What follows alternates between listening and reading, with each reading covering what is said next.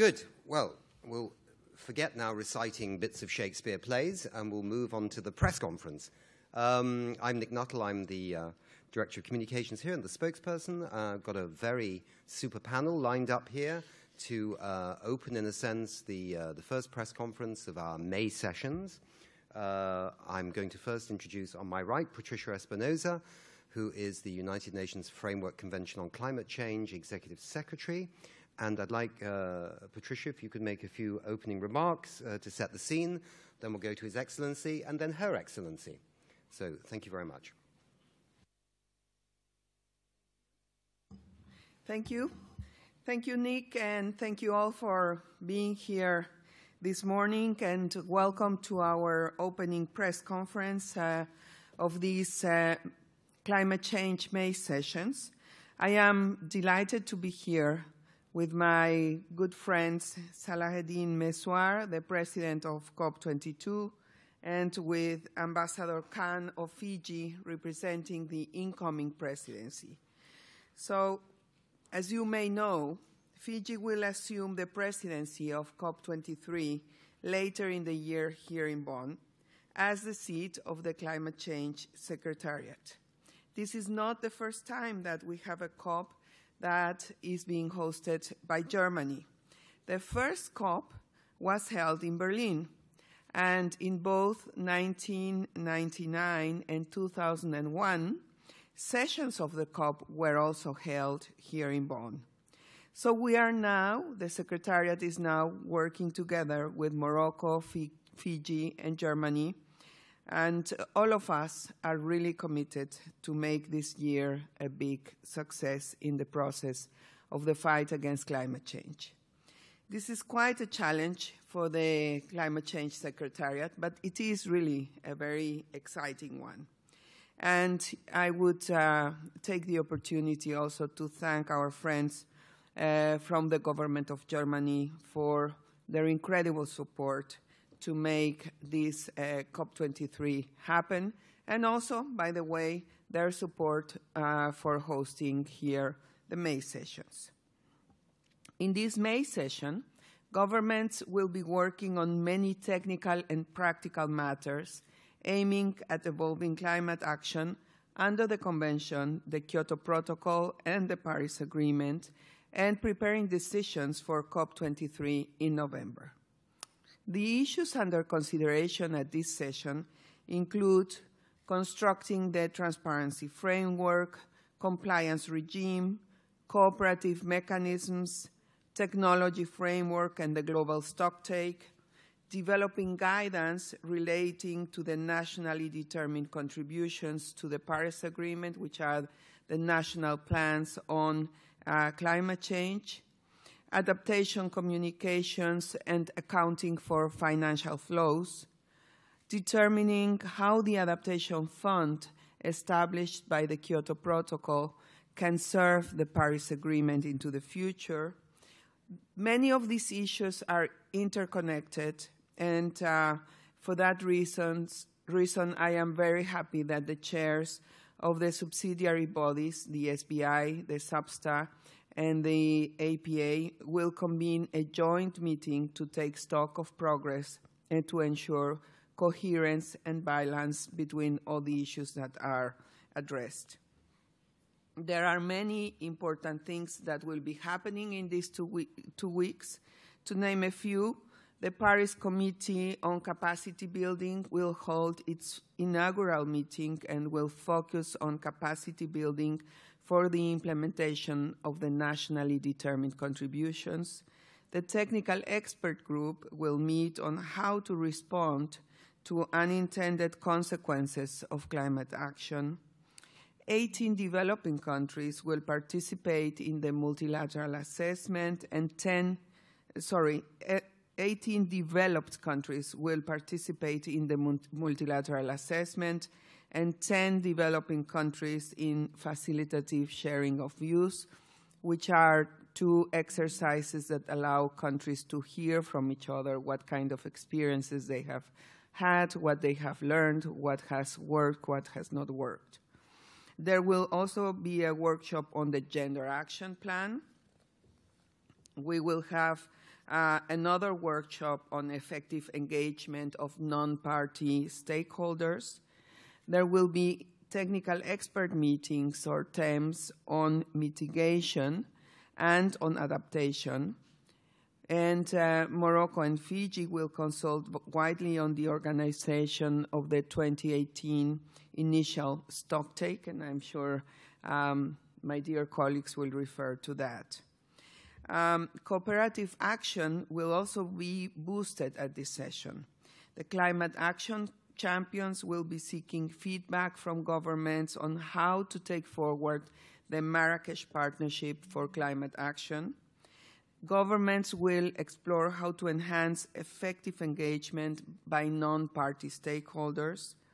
There will be a very important forum for indigenous voices and the Gender Action Plan, I am sure, will be moving forward.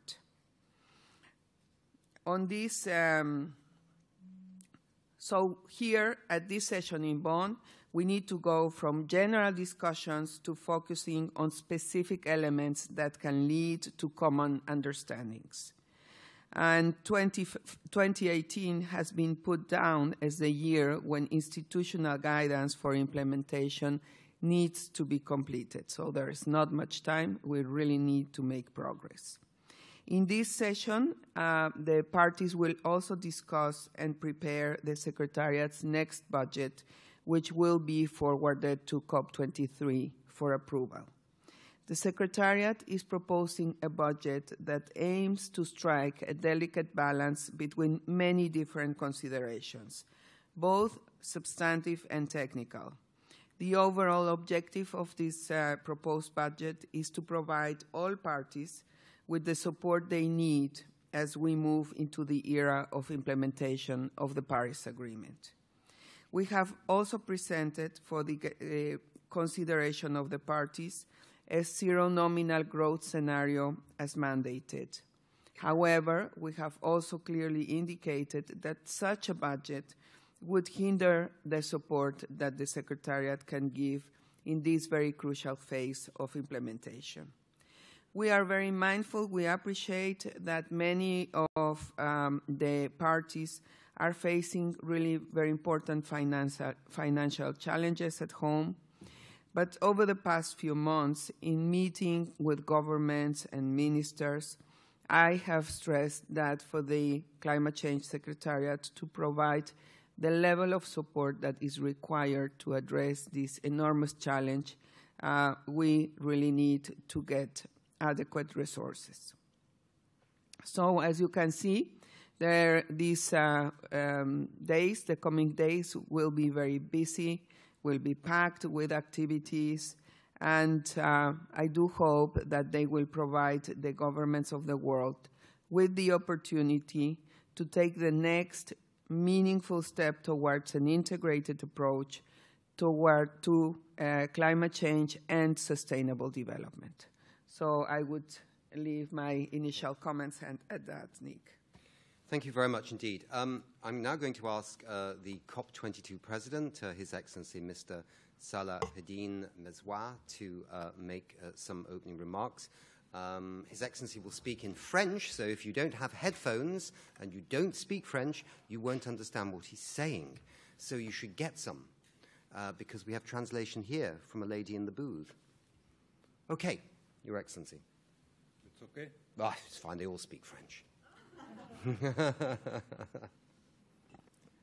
Thank you, Nick. Euh, d'abord, euh, très content et très heureux de vous retrouver après la COP 22 pour ceux qui étaient présents.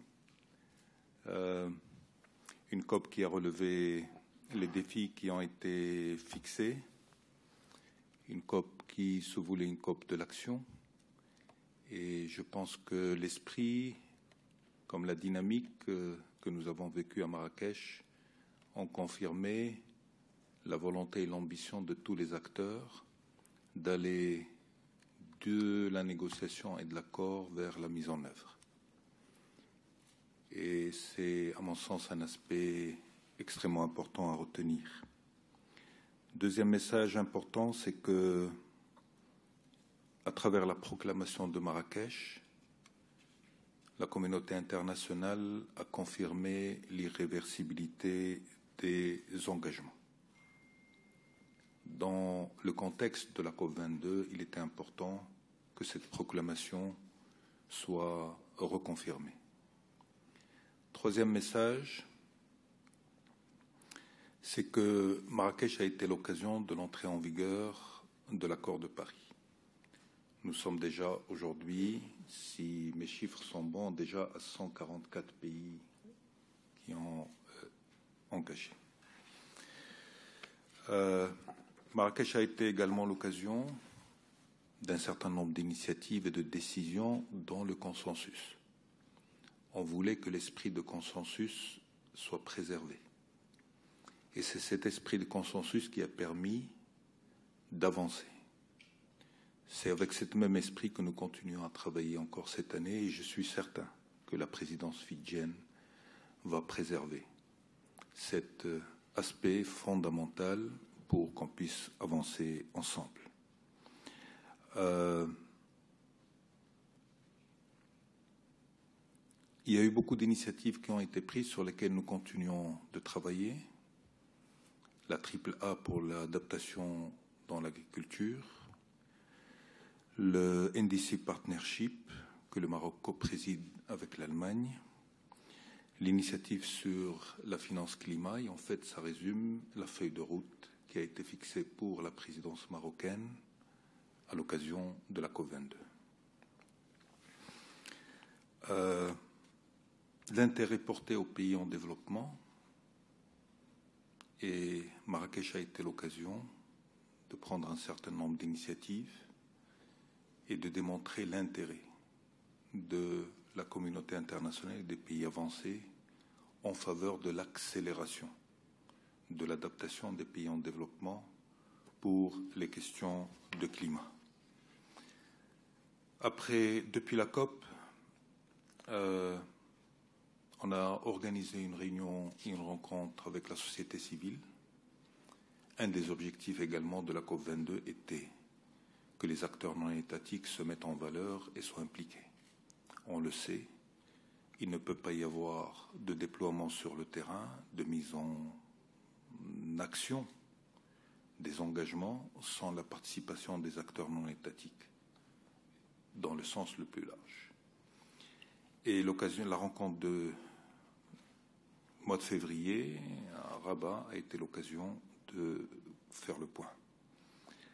Euh, la présidence marocaine a également pris part à de nombreux événements de négociations internationales, renforcé également le lien entre l'agenda des partis et celui des objectifs de développement durable, deux aspects importants pour la cohérence, et euh, également euh, d'un leadership dans les sessions de Washington, de la Banque mondiale, sur les initiatives sur les finances climat, directement avec les ministères des Finances. Il y a un objectif qui est clair.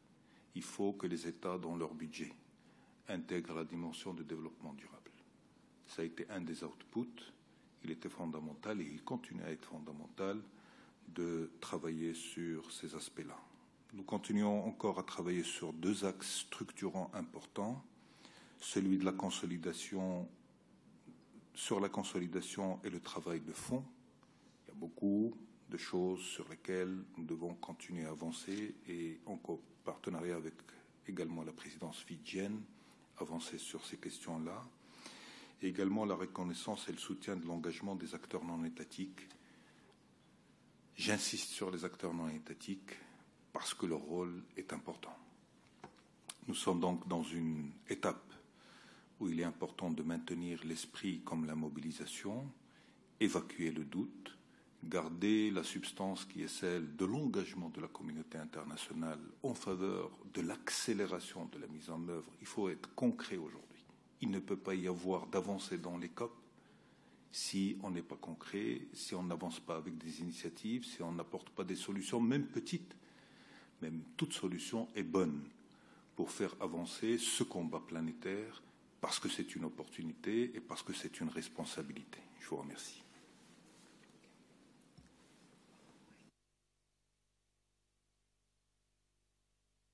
Thank you very much indeed. And uh, now, with great pleasure, I'm going to turn over to uh, Her Excellency um, Ambassador Khan from Fiji, um, who are the incoming presidency for COP23. Thank you. Thank you very much indeed. And can I first of all say, on behalf of the COP23 incoming presidency, how grateful we are and how much we appreciate the degree of assistance that we have received in this enormous task that is, that is facing us. And the assistance that we have received is, is from the UNFCCC Secretariat, from the presidency of Morocco uh, in COP22, and of course also from the broad range of stakeholders involved in the UNFCCC processes. So I think um, what is very clear from this support that we've received is that together we can, in fact, um, uh, step up climate action. We can advance the work on the implementation guidelines under the Paris Agreement, and we can make significant progress towards the holding of a facilitative dialogue next year as part of our collective efforts towards the long term climate action goal.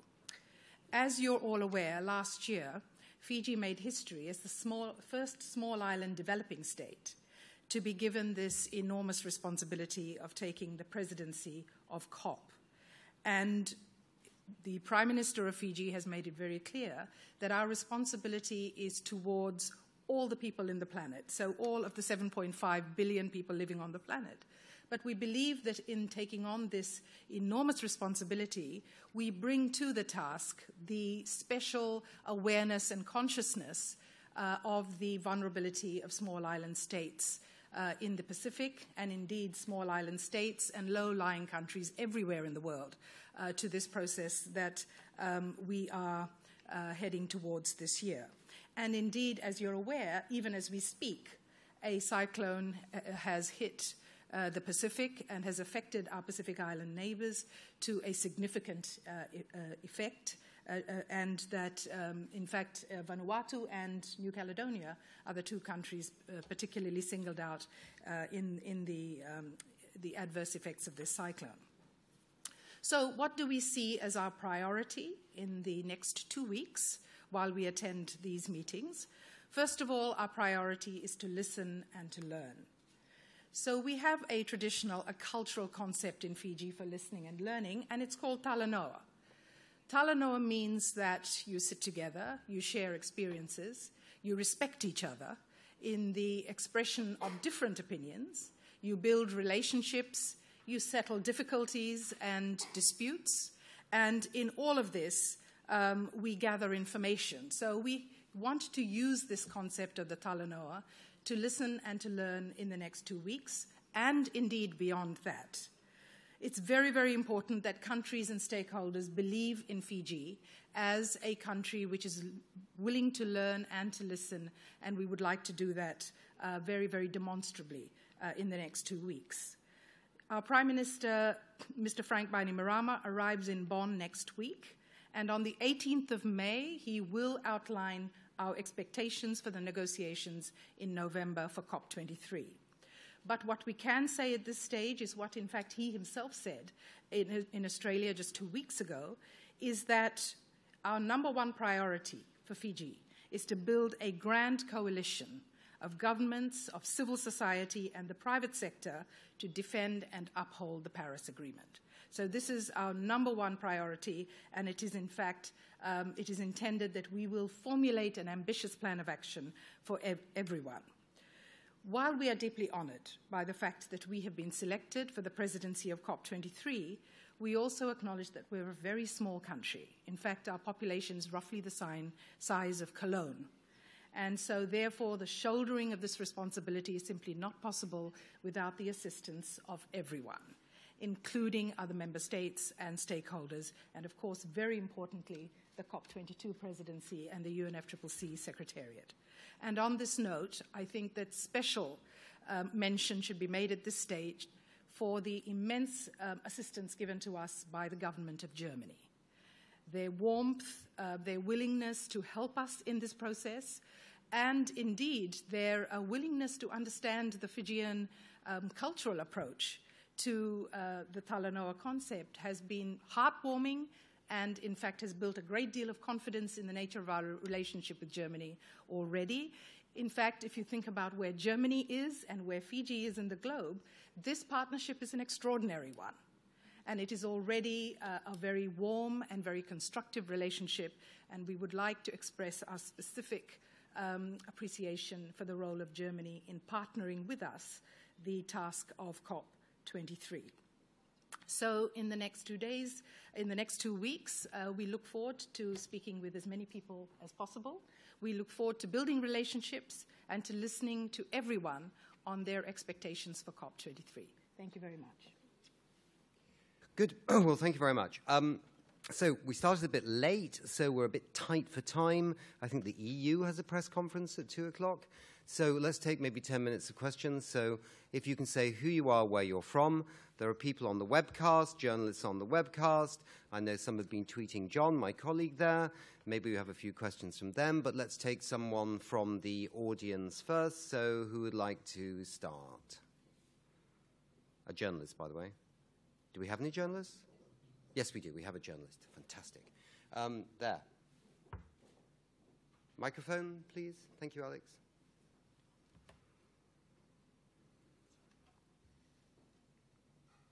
Hello, thank you, Nick. Um, Mariette Leroux, I'm with Agence France Presse. Um, I wanted to know what effect the uncertainty um, over Donald Trump's spending decision to pull out or not of the Paris Agreement is having on the meeting here. And uh, specifically, I wondered to what extent one can negotiate the nuts and, nuts and bolts uh, practicalities that you were talking about earlier if you have an American delegation uh, which presumably has no mandate. Okay. Everyone got that? Executive Secretary, would you like to have a go? Yes. Yeah, thanks. Thank you. Well, as um, was mentioned uh, by uh, the three of us, as we can see, this is an agreement, the Paris Agreement, and the process itself that uh, also makes follow up not only to the Paris Agreement, but to the Convention and also to relevant provisions of the Kyoto Protocol have all really a very incredible amount of support. The fact that we have 144 countries that have ratified the agreement, the amount of uh, commitments that we can register from uh, states, cities, uh, businesses, um, scientific community, from the financial community, all of that really are uh, expressing the willingness of uh, the international community, even also citizens, uh, individual citizens, to go forward with uh, this vision and with this agenda. So, um, as, as uh, Secretariat of the Convention, of course, we have a very clear mandate to make a follow up and to uh, make a contribution towards enhancing the progress on achieving the, um, the goals of the agreement and the goals of the convention. So we, while we look at uh, the developments in different countries in the world, in this case, uh, specifically also the uh, developments in, in the U.S., um, and um, we remain, of course, respectful of uh, internal processes in different countries. We uh, are concentrated in trying to continue to give impulse to this agenda that is valid and so important for so many uh, countries and uh, people around the world. Anybody else? Yes, a lady right at the back there. Sorry, Alex, it's a long way, but it'll make you fitter and healthier and, and slimmer. Hello, Susanne Götze from klimaretter.info. So, uh, Mrs. Khan, just a question. You're talking about the agenda. It's not already clear for the COP23 in November, but the next two weeks, uh, what will the delegation of Fiji doing, and which role they will play in this pre-negotiation process? Thank you. So um, I think uh, for the first, uh, certainly for the first week, um, we, with the Moroccan presidency, uh, with the chief negotiator, will be conducting a, a, a series of uh, consultations on what parties expect from the design of the facilitative dialogue. So it's very important this week that we listen uh, to, um, to all the parties to ensure that we get a very clear picture of what are the expectations for next year. Uh, because, as you know, the facilitative dialogue is in fact scheduled to take place next year in 2018.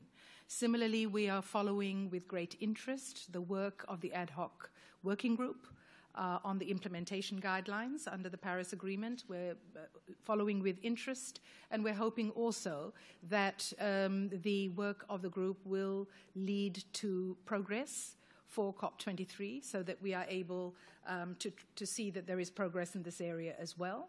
And of course, we are um, developing an important agenda in relation to climate action.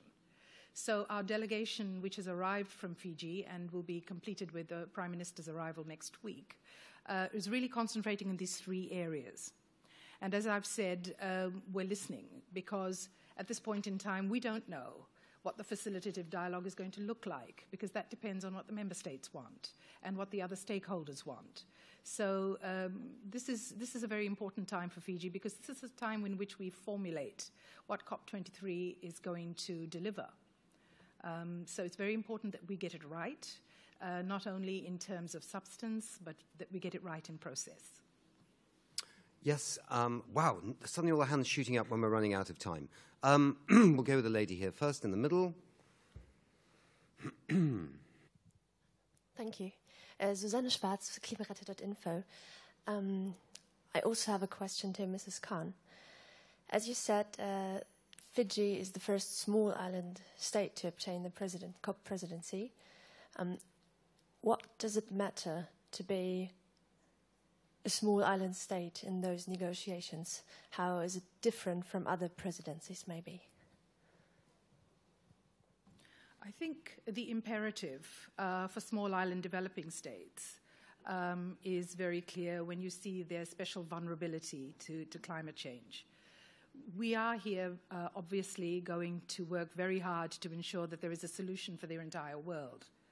But at the same time, um, we believe that it is those imperatives suffered by small island developing states, our special vulnerability and our experiences that will give to the negotiations an understanding um, and a sensitivity to the urgency of the situation and also to the circumstances in which climate change affects people and I think it is that uh, sensitivity and that knowledge and awareness that will give uh, to the negotiations a very special consciousness. So, the lady in the brown coat and then the man behind her. Um, hi, Kalina Oroschakoff Politico Europe. Uh, one question, Ambassador Khan. Um, you said our number one priority is to build a grand coalition to defend and uphold the Paris Agreement. Um, what role does Europe play in, in that grand coalition? And just to follow up on the question of uh, the colleague from uh, Agence France Presse, I would um, ask you two also to respond perhaps, um, no, not perhaps, for sure, to respond to um, essentially what the, what the role of uh, uncertainty over what the US will do um, means for you as negotiators, um, as well as the incoming chair. Thank you. Well, if I can just answer the, the, your second question first. Um, we believe in multilateralism as a process. We believe in multilateralism in the context of the UNFCCC, and we believe that it's a process that works because it's inclusive and universal. So, irrespective of the position of particular countries, I think it's very important that we continue to move this process forward. Um, that's uh, the short answer to, to the issue uh, about the United States. In relation to the role of Europe, uh, we are yet to hear, uh, in the course of the consultations on the facilitative dialogue, the position taken by Europe. So I think it'll be a little uh, premature to, to tell you what, uh, what position Europe is going to take. But we do understand that um, the European Union believes in an inclusive and participatory, uh, participatory process, just as Fiji does, and in fact, I'm sure just as everybody in this room does. So uh, we look forward to working with the European Union uh, and, and, from hearing from them about their expectations for the facilitative dialogue, and also uh, look forward to hearing uh, on their role in relation to the work on the um, implementation guidelines.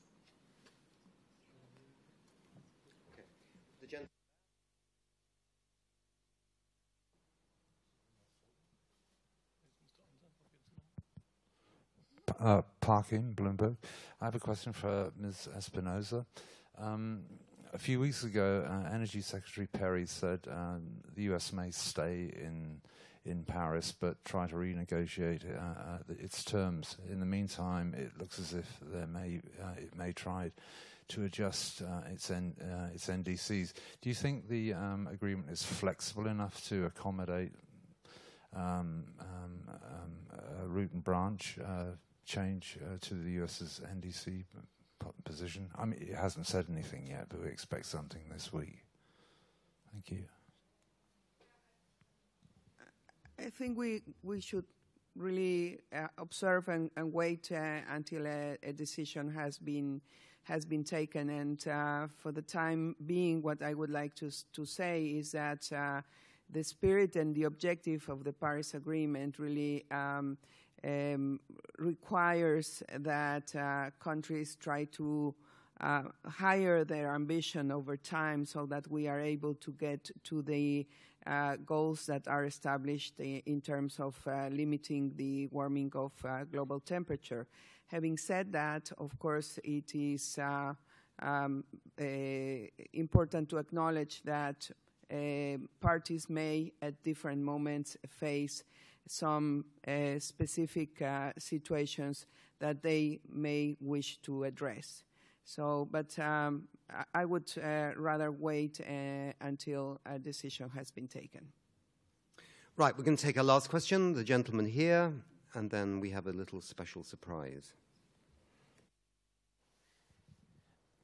Thank you, Karl Mathiesen from Climate Home. Uh, similar question, um, but to you, Mr. Mezouar. Um, you said that the uh, the commitments are irreversible.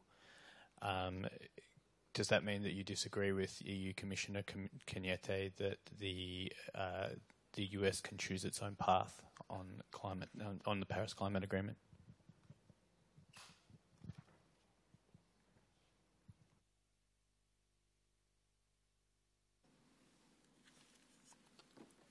Ma conviction, c'est que il y a la promesse électorale et il y a la réalité. La réalité sur le terrain, c'est deux choses. La première, c'est l'engagement de la communauté internationale dans son ensemble. Et on ne peut pas considérer que la volonté de la communauté internationale ne vaut rien devant la décision d'un État. Deux, la propre réalité américaine, c'est que aussi bien les États que les villes, que l'opinion publique américaine veut aller dans cette direction. Je fais confiance euh, au bon sens et à l'esprit de pragmatisme du président Trump et de son équipe. Je sais que c'est un engagement et qu'on cherchera un moyen ou un autre pour donner l'impression que cet engagement est mis en œuvre. Mais le fond, c'est qu'il sera, à mon sens, euh, difficile ou euh, insensé d'aller à contresens d'une opinion publique, d'une volonté interne et d'une volonté de la communauté internationale. Maintenant, il y a l'approche. Et l'approche, c'est que la communauté internationale doit maintenir la même détermination il est important que le message qui ressort à chaque fois est un message de détermination et de confiance. Les canaux également de dialogue, non seulement uniquement avec l'administration américaine, mais également avec les différents représentants des États aux États-Unis. Donc c'est pour ça que je, je préfère rester optimiste et avancer à pousser que de dire il y a peut-être un risque, une fatalité, et baisser les bras. Il ne faut pas baisser les bras en ce, en ce moment. Deuxième point sur lequel euh, je voudrais insister. La présidence fidjienne est insulaire et on sait combien la question des États insulaires a été présente aussi bien à Marrakech qu'à Paris. Il y a un vrai souci. Cette présidence doit être l'occasion pour véritablement aller vers un soutien beaucoup plus actif et plus dynamique pour les États insulaires la présidence fidjienne ne servira à rien si l'output ne se traduit pas par plus d'engagement de la communauté internationale en faveur des États insulaires. Et c'est pour ça que je lance un appel à tous les acteurs et à toute la communauté internationale pour saisir l'opportunité de la présidence fidjienne pour aller vers plus de soutien actif et plus d'engagement. En tout cas, du côté de la présidence marocaine, et quand je parle de la présidence marocaine, je parle aussi de tous les relais que, dont dispose le Maroc à travers le monde, l'engagement de la présidence marocaine est de soutenir, appuyer et renforcer cette présidence parce qu'on veut qu'elle réussisse. Il faut que la présidence fidjienne réussisse. Il faut que cette présidence transmette un message de confiance. C'est un test extrêmement important et je tiens à souligner et à attirer l'attention sur cela. Et donc, c'est aussi votre rôle de relayer ce message. Il faut que la présidence fidjienne serve pour que la communauté internationale apporte des solutions et apporte véritablement un accompagnement, rassure, parce que c'est aussi un test de crédibilité de tous les engagements de la communauté internationale par rapport aux pays les plus vulnérables. Je rappelle qu'à Marrakech, l'ensemble des pays vulnérables se sont engagés à aller vers 100% d'énergie renouvelable. Et donc, c'est les seuls qui ont assumé et assuré cet engagement. Et je crois que notre devoir collectif est de soutenir cette présidence pour qu'elle réussisse et pour que les îles, les États insulaires sentent qu'effectivement la communauté internationale apporte des solutions. So we've come now to the end of this. We have two short minutes for a very special thing. Now, Fleur, come on up. Executive Secretary is going to do something rather unique. She's signing up to a unique initiative, and uh, she wants to do it in front of you, so you are her witnesses. And here we go. I know we have another press conference in a second. Sorry, ladies and gentlemen, but we're almost wrapped up. Thank you, Nick. Yes, as you have said, I intend to sign here with your uh, witness what is called the Parity Pledge. And uh, I, with this, I will also be becoming an international gender champion. Uh, I am also announcing that uh, today I'm founding the Bonn Berlin chapter of this initiative, which now has around 120 members, including the UN Secretary General and Simona Scarpaleggia, who is the co-chair of the UN High-Level Panel on Women Economic Empowerment and CEO of IKEA Switzerland. And uh, Ambassador Khan is also also a member of this uh, very important initiative. I would invite you to learn more about the initiative, to go into the website in uh, about one hour. There you will find all the information, and I hope we can um, find many more members of the initiative in this uh, group. So thank you for witnessing this, uh, that I believe is a very important uh, commitment for me personally, but for the UNFCCC Secretariat as well.